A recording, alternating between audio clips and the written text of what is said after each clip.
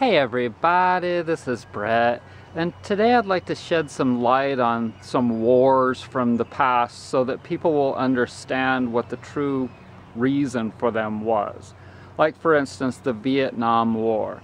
For years and years and years, people have said that it was just bad. 58,000 Americans were killed and all it cost all this money, etc., etc., etc. The Vietnam War was flown into from the Second World War. America had so many ships and so much equipment, etc., etc. And so North Vietnam was a communist place, and that was bad against what we stand for.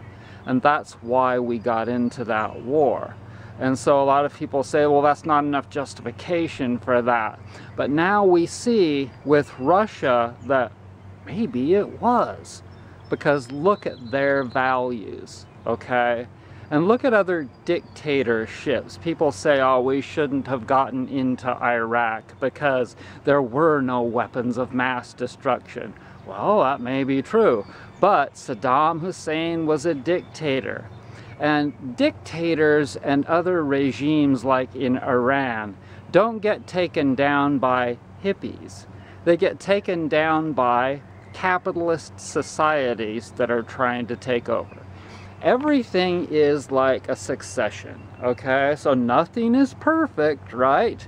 But you don't see like, you're not going to see like people like me being able to take down Russia. I'm not going to go join the army. There are other people that do those kinds of jobs. Remember, everyone has a job. Think about people that are just totally peaceful. That like they're there are religions that they won't even hurt an ant. They're looking to make sure that they don't step on an ant, okay? So will those people take down the Russians? No. There has to be hamburger eating Americans that have joined the military that see it as a bad thing and Iraq and uh, all these countries, Syria, etc that are a bad thing and we're going to go over there and kick their butts. Does, does this need to happen? Yes, because these are extremist regimes that are going to eventually, they're criminals, okay? So there has to be some kind of an adversary against these people. That includes North Korea as well. And so everything has a purpose. Everything has a purpose. There are people out there that say, well, JFK is, or RFK is a conspiracy theorist, and da da da da da da da. Okay, look at the value of this person. Look at his value. He's not just a conspiracy theorist, okay? Everyone has a job, remember that. Everyone has a job.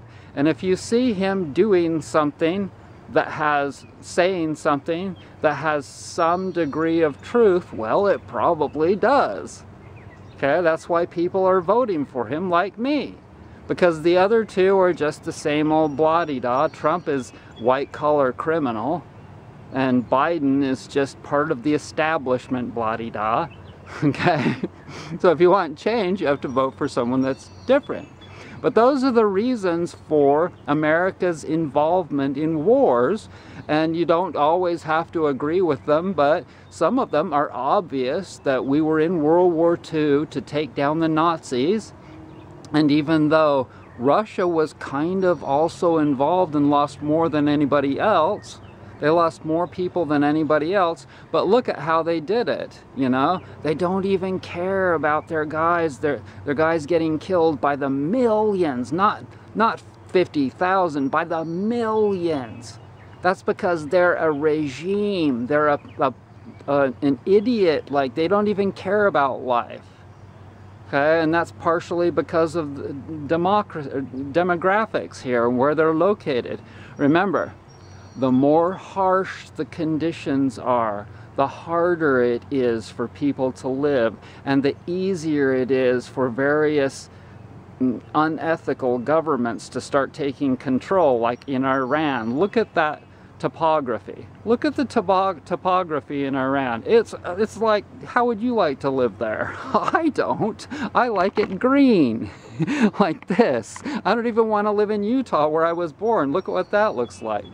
So anyways, I want to thank you so much for joining me. Look how peaceful it is.